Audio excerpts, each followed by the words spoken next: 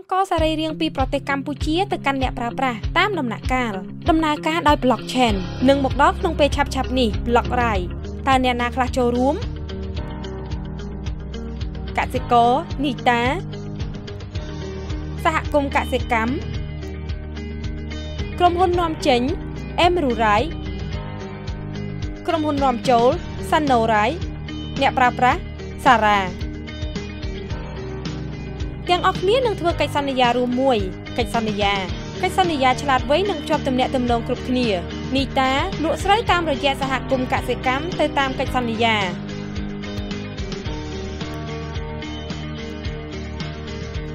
នីតាទទួលបានការបង់ប្រាក់និងផ្ញើការបញ្ជាក់ការទទួលបានប្រាក់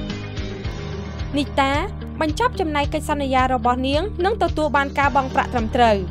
សហគមន៍កសិកម្មបញ្ជូនស្រូវរបស់នាងទៅក្រុមហ៊ុន Emrurai សហគមន៍កសិកម្មទទួលបានការបង់ប្រាក់និងផ្ញើការបញ្ជាក់ការទទួលបានប្រាក់សហគមន៍កសិកម្មបញ្ចប់ចំណាយកិច្ចសន្យារបស់ខ្លួននិងទទួលបានការបង់ប្រាក់ត្រឹមត្រូវក្រុមហ៊ុន Emrurai លក់និងបញ្ជូនអង្ករសរីរាង្គតាមកប៉ាល់ទៅឲ្យក្រុមហ៊ុន Sanorai ក្រុមហ៊ុន Emrurai ទទួលបានការបង់ប្រាក់ និងផ្ញើការបញ្ជាក់ការទទួលបានប្រាក់ក្រុមហ៊ុន Emrurai បញ្ចប់ចំណាយកិច្ចសន្យារបស់ខ្លួននិងទទួលបានការបង់ប្រាក់ត្រឹមត្រូវ